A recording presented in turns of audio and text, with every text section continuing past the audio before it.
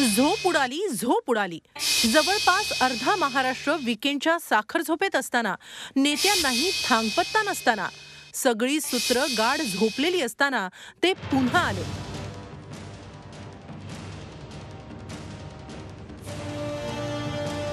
त्यांनी सरकार स्थापन केलं शपथविधी झाला सुद्धा. मी देवेंद्र गंगाधरराव फडणवीस ईश्वर साक्ष शपथ घेतो की कायद्याद्वारे स्थापित झाले आहे अशा भारतीय संविधानाबद्दल मी खरी श्रद्धा व निष्ठा बाळगेन. देवेंद्र फडणवीस पुन्हा एकदा मुख्यमंत्री झाले आणि अजित पवार उपमुख्यमंत्री.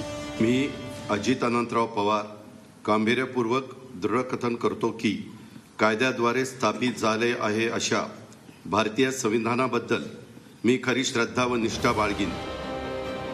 राजभवनमध्ये मोजक्या लोकांच्या उपस्थितीत हा शपथविधी पार पडला.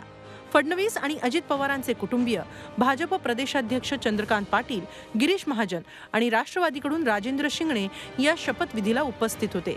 मी पुन्हा येईन म्हणणारे कुठल्याही परिस्थितीत येणार नाहीत याची खात्री जवळपास पटलेली असताना ते सकाळी सकाळी परत आले. आता तीस नोव्हेंबरला फडणवीसांना बहुमत सिद्ध करावं लागणार आहे.